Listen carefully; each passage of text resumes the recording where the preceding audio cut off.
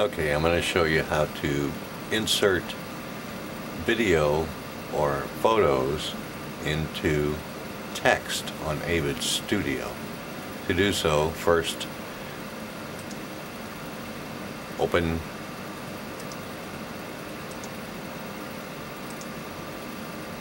the title and it'll take you into the title editor. Okay, first thing to do is change it to a bigger format so you can actually see for this purpose. And then over here under text settings, where you, where you see face, you'll get a drop down and you'll see this right here. Let me see if I can zoom in on that for you a little bit. And go over here, zoom back out, and grab a video and just simply drag it across here onto where the fill is, and this color is white, just drop it onto that white, and it changes your text to the flag. And there's a video of the flag waving. Now if you want to change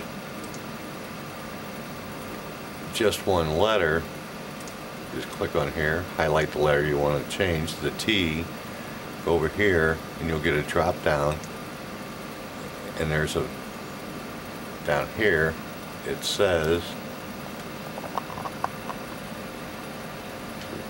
zoom in on that it says letter select letter okay zoom back up let's drag a different one over here so you can get some comparison drag that over there and now you've changed this letter and so forth. If you want to change this one, you can go here and change it to something here. Oops, you got to change this to letter here first. Change that to letter. Drop that on there. And now your O is there. And there's your video. If you rewind it, it plays better. Click OK. And I've got this set at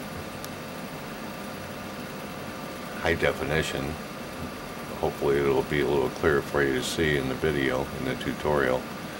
So you've got four different videos in this layer, that's why it's taking so long, but basically here's your there it is, and it will go up here and hit it this way. And as you can see, there's your different, there's your video inside your And that's how you do it. Hope that helped you. Bye.